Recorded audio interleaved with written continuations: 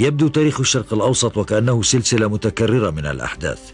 في أواخر الثمانينيات بدأت دورة جديدة من التاريخ عندما قام السكان العرب في المناطق التي تحتلها إسرائيل بثورة أصبحت تعرف باسم الانتفاضة.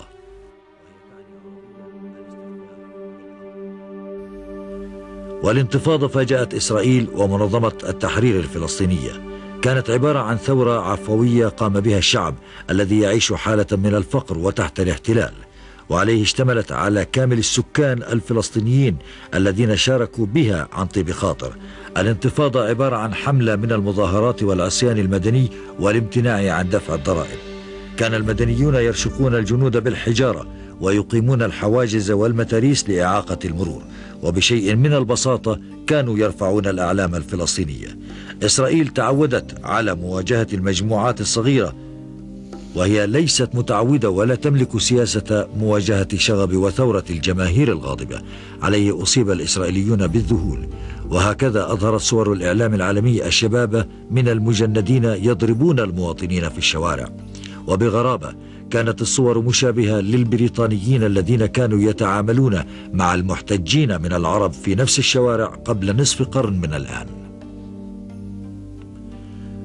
وصفت حقبة الثمانينيات على أنها بمثابة العقد الأكثر كآبة في تاريخ الشرق الأوسط.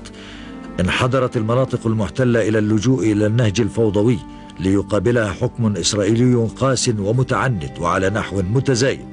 وظهرت الانتفاضة وتزامنت مع فوضى الحرب الأهلية في لبنان. وأثناء القتال ظهرت للوجود مجموعات مسلحة جديدة منها على سبيل المثال حزب الله وحماس والجهاد الإسلامي. كلها تواجدت للتصدي للاحتلال تسيرها الحماسة الدينية. كانت تلك سنوات طويلة من عمليات احتجاز الرهائن المستعصية ومن عمليات التفجيرات الاستشهادية.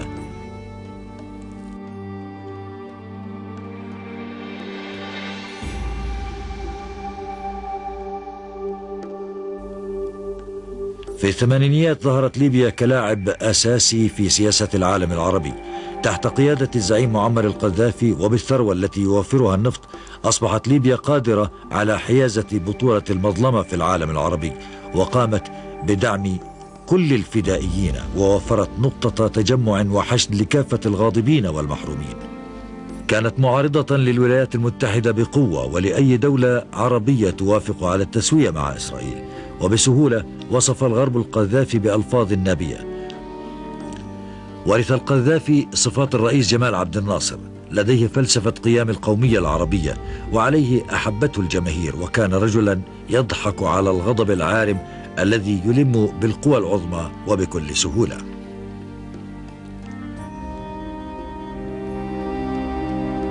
وبشكل فاضح حاولت أمريكا رونالد ريغان قتل الزعيم الليبي في الغارة الجوية التي شنتها على العاصمة الليبية طرابلس.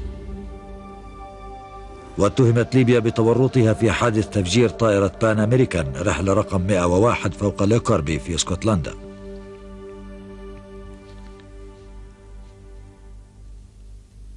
وفي منطقة الشرق الأوسط يندمج التاريخ بالحاضر ففي عام 91 انتشرت قوات أكبر حشد عسكري يشهده الشرق الأوسط في ائتلاف دولي لخوض الحرب في الصحراء العربية.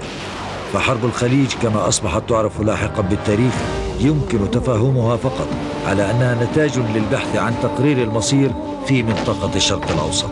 لكن كيف بدأت هذه الحرب؟ بدأ هذا سهلا في البداية. اجتاحت العراق جارتها الجنوبية الصغيرة دولة الكويت في حرب احتلال. بدأ واضحا بأن لدى العراق الطموح للسيطرة والهيمنة على حقول النفط في الدول العربية المجاورة.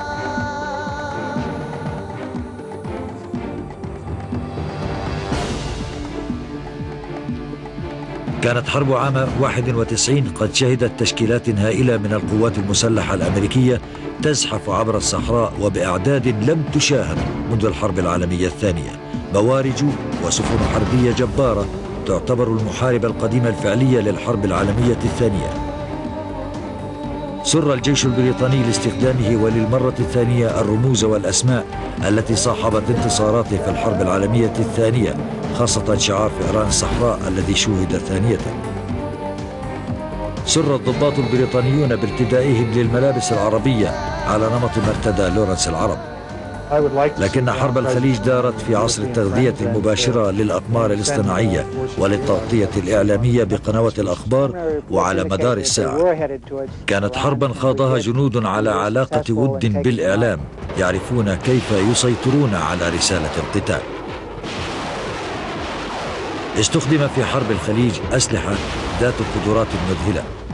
كانت قادرة على اكتشاف أدق الأهداف وفي مسافات بعيدة. كانت طائرات الشبح تطير وبشكل غير مرئي. كانت حرب الخليج حربا معاصرة استخدمت فيها أعلى مستويات التكنولوجيا.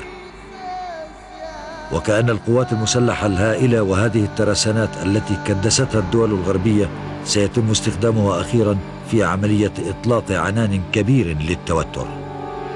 جيوش عملاقة وأساطيل بحرية وقوات جوية لطالما استخدمت لتطويق العدو السوفيتي تنتظر وتراقب بيقظة تعثر مساعي المفاوضات في الحرب الباردة.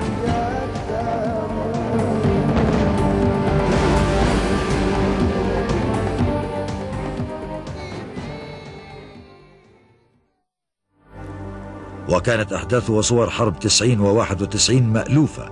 القوات العراقية عبرت الحدود الكويتية في تموز عام 90 وفي الشهر التالي وعبر جسر جوي وصلت القوات الأمريكية لمنع أي توسع. وصدام حسين الذي ربط انسحاب قواته بانسحاب إسرائيل من الأراضي المحتلة وطالب باستبدال القوات الأمريكية بعربية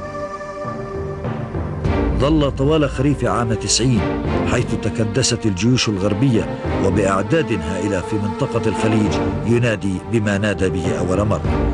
وفي كانون الثاني عام 91 بدأت قوات سلاح الجو لدول الحلفاء بقصف العراق. وفي أصداء الحروب الأخرى كان الهدف التدمير الكامل لسلاح الجو العراقي. وتماما كما فعلت مصر أثناء اجتياح السويس أبعد العراق طائراته ومقاتلاته إلى دول محايدة.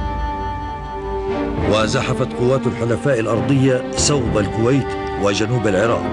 ومن الصحراء جاءت صور النصر والهزيمة لتكشف حقيقة رعب الحرب الحديثة وبدرجة نسيها العالم تماما.